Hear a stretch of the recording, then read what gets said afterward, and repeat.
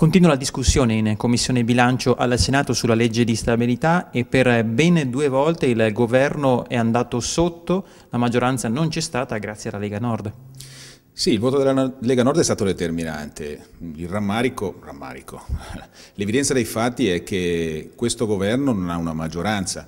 Questo governo, oltre a essere confuso nei contenuti, in quanto la legge di stabilità eh, dice niente, anzi una cosa dice, che aumenteranno le tasse per gli italiani, ma questo governo non ha una maggioranza. Ieri su due emendamenti in cui la Lega è stata appunto determinante, il governo eh, ha dimostrato rigidità e questa rigidità gli si è rivoltata contro perché di fatto è andato sotto due volte.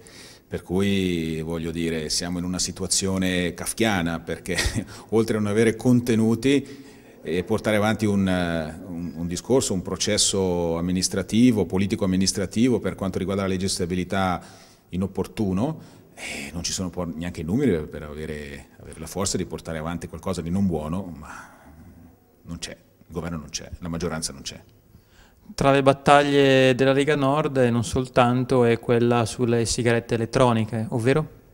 No, c'è stato questo emendamento proposto da un collega del PD che abbiamo condiviso, il governo ha dato parere contrario, i relatori hanno dato parere contrario, la commissione si è espressa a favore, il governo è andato sotto, per cui il governo vuole far vedere i muscoli ma non ha i muscoli, per cui le prende regolarmente.